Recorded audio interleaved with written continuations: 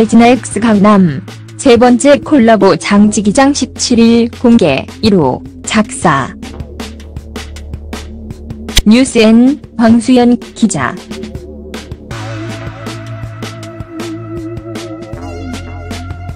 태진아가 강남과 함께 세 번째 콜라보곡을 발표한다. 전통시장, 사람 팔자로 환상적인 호흡을 과시하며 많은 관심을 받은 태진아와 강남이 오는 3월 17일 정오 세 번째 콜라보곡 장지기장을 공개한다.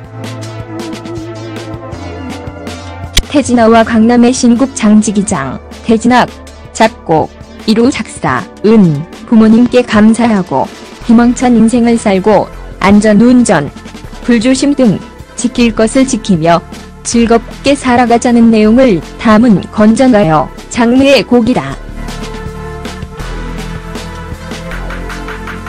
특히 쉽고 재밌는 가사와 어깨가 절로 들썩이는 신나는 리듬, 구성지면서도 맛깔나는 태진아와 강남의 보컬까지 3박자가 모두 어우러져 팬들의 많은 관심을 받을 것으로 기대를 모으고 있다. 한편 태진아와 강남의 신곡 장지기장은 오는 17일 정오 각종 음원 사이트를 통해 공개된다. 사진 YMC 제공. 뉴스N 황수연 수아이연 99회 기사 제보 및 보도자료 누전 네트 무전점 컴 카피라이트 뉴스N.